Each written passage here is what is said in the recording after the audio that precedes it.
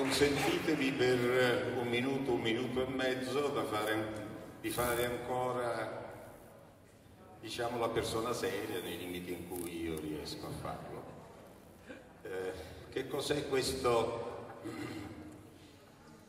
questo nostro tentativo? Un tentativo di non di leggere poesie o di leggere poeti.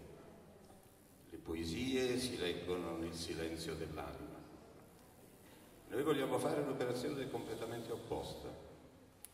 Vogliamo, tentiamo di teatralizzare tutto questo, fare un evento scenico, mettere in scena quello che è l'interiore, dare spazio al tempo. Ecco, questo vuole essere il senso. E questo lo si può realizzare mostrando in che modo il nostro tentativo corrisponde una, forse una situazione storica del nostro tempo. Il venir meno del significato delle parole. Le voci spezzate sta a indicare anche questo, che le parole si frantumano. E vediamo che cosa significa questo frantumarsi delle parole. Vediamo in che modo la parola si riduce a suono. Facendosi suono, e gesto acquista un diverso significato. Questo sarebbe il nostro tentativo, o forse la nostra pretesa, o forse il nostro divertimento.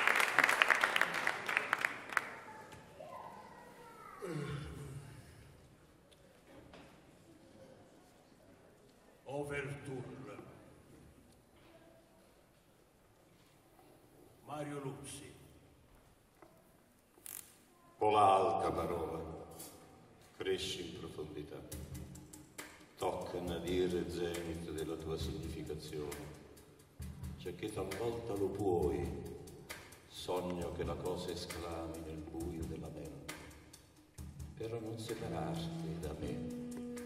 Non arrivare, ti prego, a quel celestiale appuntamento da sola, senza il caldo di me, o almeno il mio ricordo si luce, non disabitata trasparenza.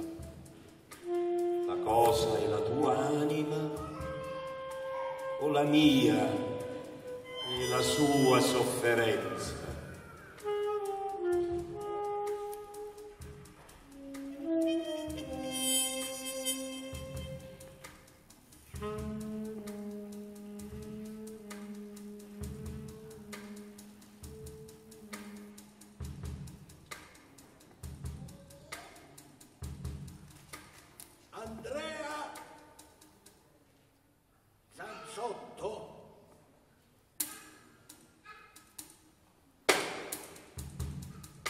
Un senso che non muove da un'immagine, un colore disgiunto ad un'idea, un'ansia senza testimoni, o una pace perfetta, ma precaria. Questo è l'io che mi desti madre e che ora appena riconosco né parola, né forma, né ombra.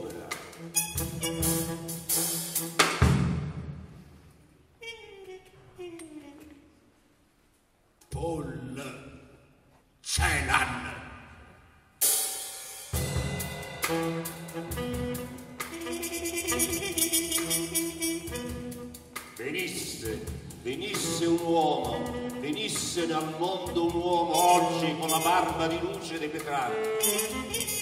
Egli dovrebbe, se parlasse di questo tempo, egli dovrebbe solo balbettare,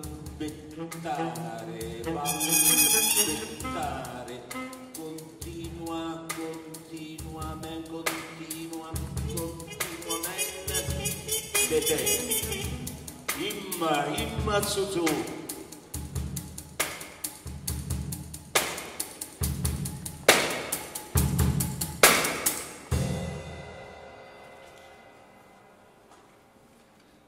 cielo e terra, religio ligamen. Rainer Maria Rilke. Era la prodigiosa miniera delle anime, come vene d'argento silenziose scorrevano attraverso il suo buio. Tra radici sgorgava il sangue che sale agli uomini e greve come porfido appariva nel buio. Non c'era altro rosso.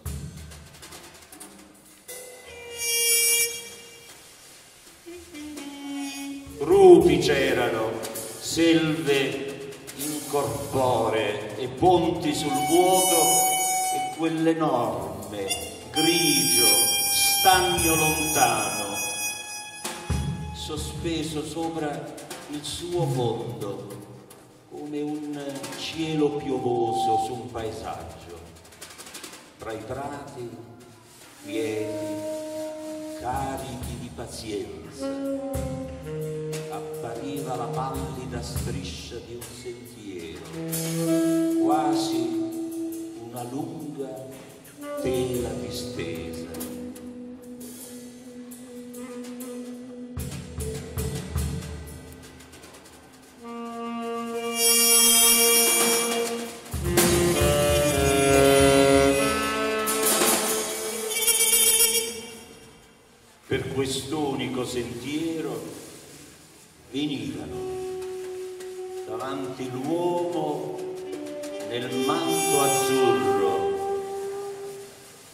Guardava muto e impaziente davanti a sé. I suoi sensi erano divisi, l'occhio correva avanti, come un cane tornava e di nuovo andava lontano. Restava ad attenderlo alla prossima svolta. L'udito restava indietro, come un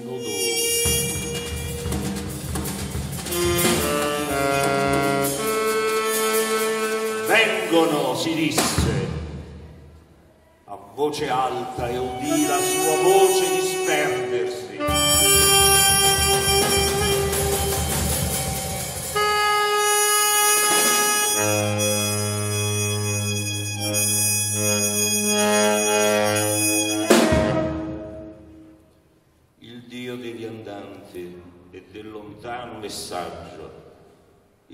Il petaso sopra gli occhi chiari, lo snello caduceo proteso innanzi, il battito d'ali delle caviglie e affidata la sua mano sinistra, lei, la tanto amata, lei, la tanto amata, andava alla mano di quel Dio il passo impedito dalle lunghe bende funebri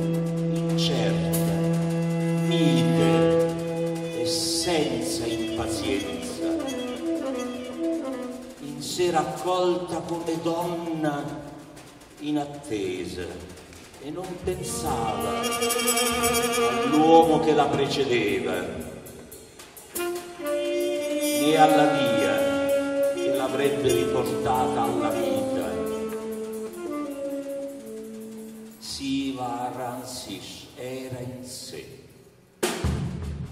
il suo essere morta la riempiva con una pienezza come un frutto di dolcezza e di oscurità, così lei era piena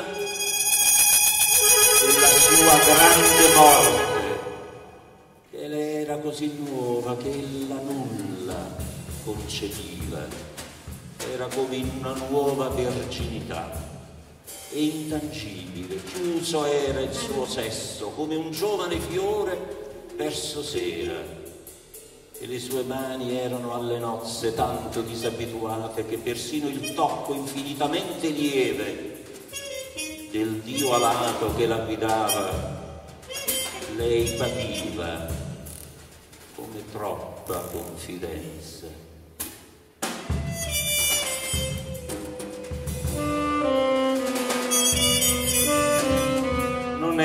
Bionda donna che echeggiava talora nei canti del poeta, non più isola profumata nell'ampio letto, né più proprietà di quell'uomo. Era come una lunga chioma già sciolta, diffusa come pioggia caduta, sparsa come mille raccolti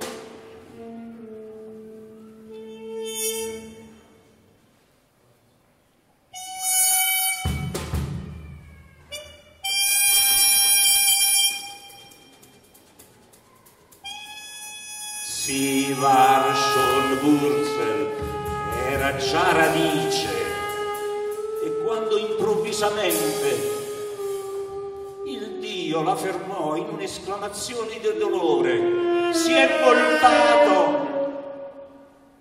Lei non capì e con un soffio di voce disse, chi?